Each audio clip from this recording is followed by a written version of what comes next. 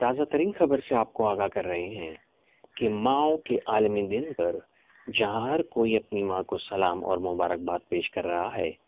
وہیں بھارتی film industry کی ابھرتی اداکارہ سارا علی خان نے بھی اپنی ماں امریتا سنگھ کی ایک پرانی تصویر شیئر کرتے ہوئے مبارکباد دی ہے۔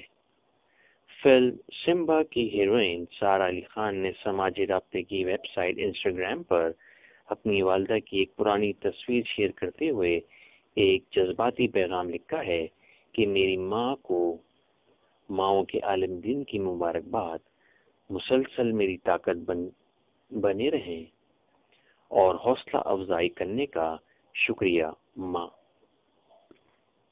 انہوں نے مزید لکھا ہے کہ آپ ایک اچھی خاتون ہیں۔ میری خواہش ہے کہ آپ کے دس فیصد جتنی اچھی خاتون بن سکوں۔ واضح رہے کہ سارا علی خان پٹوڈی خاندان کے نواب سیف علی خان اور امریتا سنگھ کی صاحبزادی ہیں۔